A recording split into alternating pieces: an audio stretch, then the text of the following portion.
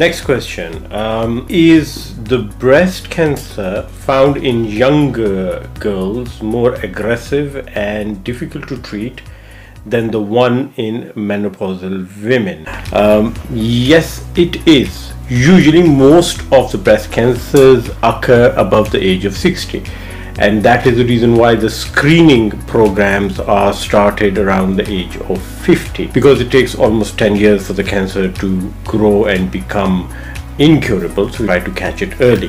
However recently there has been a trend of breast cancer occurring in younger women and we are seeing more aggressive breast cancers.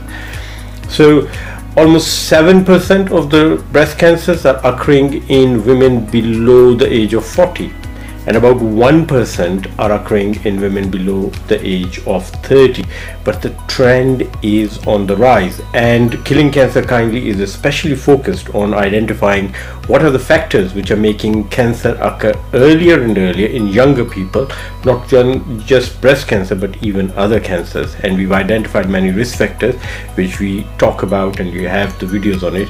One of the risk factors for younger women having breast cancer is exposure to radiation.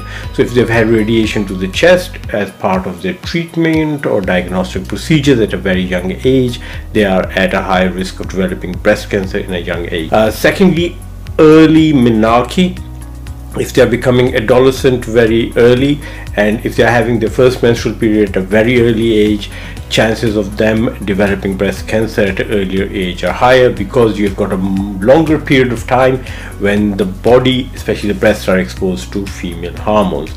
Uh, having uh, less children and not breastfeeding also increases the risk as do many familial breast cancers. So if there's a strong family history or if there's a known genetic mutation which runs in the family like BRCA1, BRCA2, BRCA1, BRCA2 or Li-Fraumeni syndrome or Cowden syndrome, uh, there are many different syndromes which uh, affect certain families and they tend to have a higher risk of breast cancer. My advice to most patients is that if anyone in your family, an immediate relative or a close relative, has had breast cancer at a younger age, you should start screening 10 years before that.